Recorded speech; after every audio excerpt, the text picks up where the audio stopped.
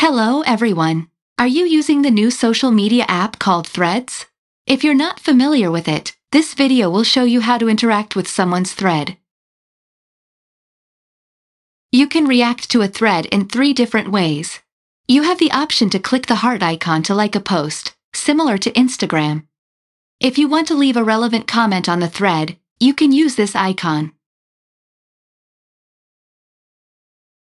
If you wish to repost the content, you can click on the double arrow icon below the post, which is similar to the retweet icon on Twitter.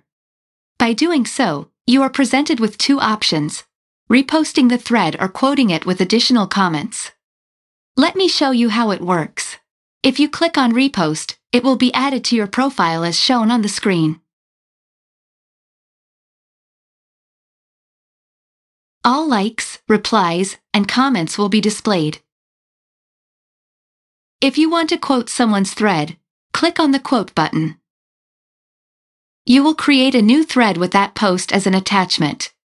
You can add your text and it will appear in your thread.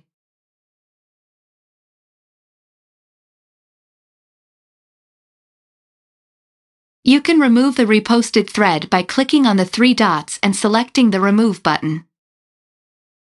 You can delete your thread by clicking on the three dots and selecting the Delete button. That's one additional difference between reposting and quoting other threads. Share your opinions about threads in the comment section. Subscribe